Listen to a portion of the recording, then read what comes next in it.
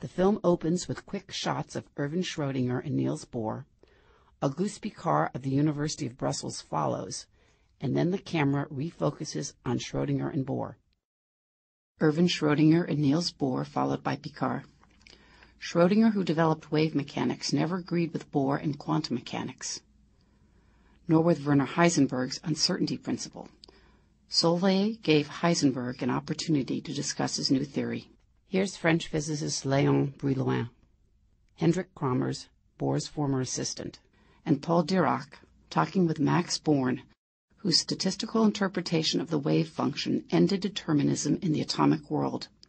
These men, Bohr, Heisenberg, Kramers, Dirac, and Born, together with Wolfgang Pauli, represent the founding fathers of quantum mechanics.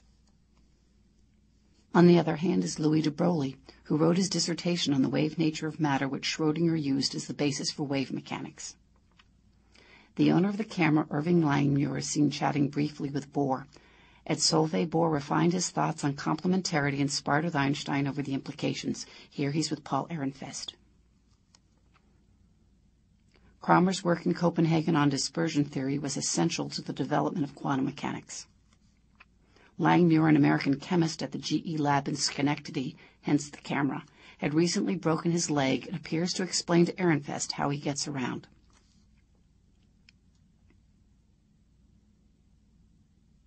By 1927, Dirac in the middle had independently developed quantum mechanics and made other significant contributions, as had Wolfgang Pauli who formulated the exclusion principle.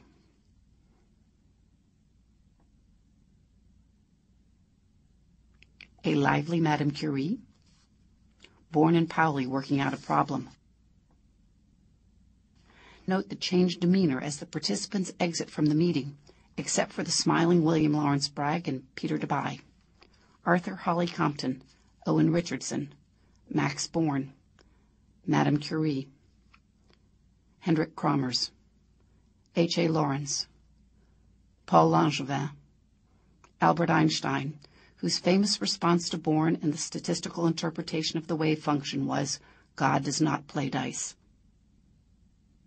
Bohr, Planck, Pauli, and Belgian soldiers, a portentous conclusion.